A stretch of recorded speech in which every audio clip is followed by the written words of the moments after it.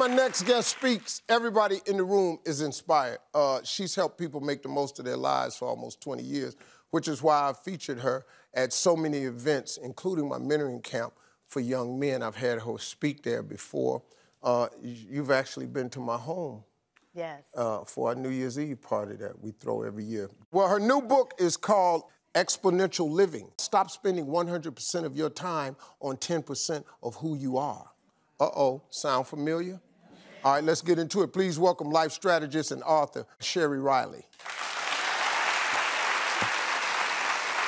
So, Sheri, uh, tell everybody what a life strategist is and when did you realize that this is what your calling was? I was uh, the senior director of marketing at LaFace Records, owned by L.A. Reid and mm-hmm. Kenny Babyface Edmonds.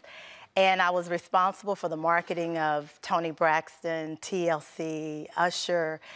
And I had these amazing artists. We did some great things together. I had this awesome job coming from a small town in Kentucky. I finally made it, right? I was making six figures. I bought my mother a home when I was 27 years old, and I was miserable. I was absolutely miserable because this great career that I created narrowed my life down to this small 10%. And I realized I had to make a change. I had to figure out how to live that other 90% of who I was. So when you say you had to stop and think of what you had to give up to come up, what do you yeah. mean by that? And I got that from my, my friend and mentor, John Maxwell. And he says that all the time. You, whenever you want to make a transition, you're going to give up something yeah. to go up. And what happens is one, we don't want to give up anything. And the fear of the unknown of what, what is on the other side. And sometimes we can be so miserable, but we know the misery. And so when you decide, it's okay to give up something, to go up to something else. Mm-hmm. But we got to make that decision. I'm going to give up something, but I'm going to go up to something See, else. that's what stops people from really becoming successful.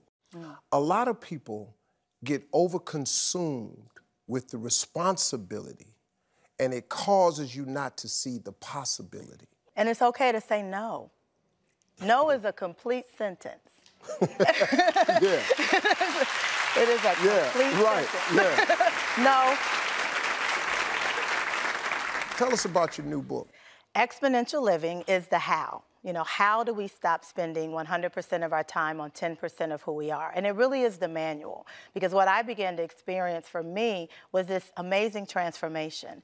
And with this book, I don't want it to be a transaction. I really want people to read it, underline it, because I want the same transformation for others.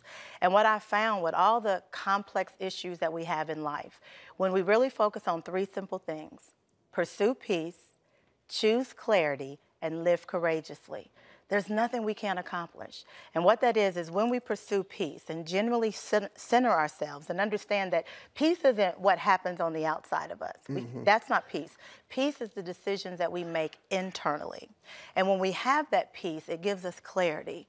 And when we get clarity and peace together, oh my gosh, we are so empowered. We can make any courageous decision. And that's what exponential living is, is really living those three things. And the nine principles in there show us how to do that.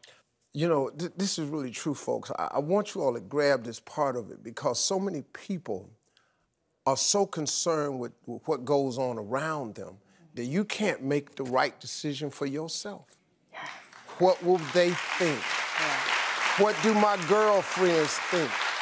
What will my neighbors think? What will the members of the PTA think? Quit caring about them people. Yes. Listen to me, man. If you keep spending 100% of your time worrying about them people, you ain't gonna do nothing but care for 10% of yourself. Yes. Yes.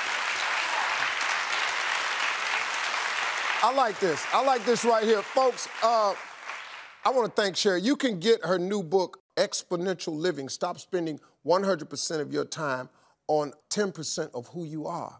That makes so much sense. I mean, the subtitle is it. All this worrying about somebody else, man, to hell with them. man, them people, them people, trip, they tripping, man. Hey, folks, the book is in stores now, but everybody in the audience, you're going home with a copy today. All right, hey, folks, we'll be right back.